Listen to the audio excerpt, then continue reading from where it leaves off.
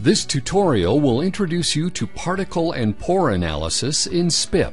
In this image, we want to detect and quantify the bright features. Anything higher, that is brighter than the background, is classified as particles, whereas features lower, that is darker than the background, are classified as pores.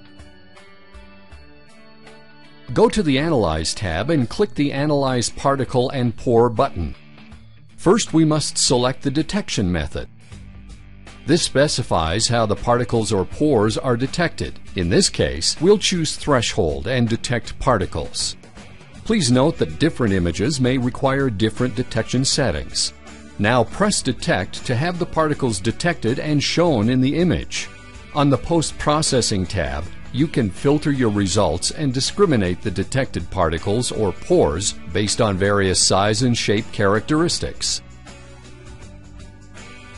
On the Output tab, you can specify which parameters you want SPIP to calculate. You can also specify statistics and which charts you want SPIP to generate.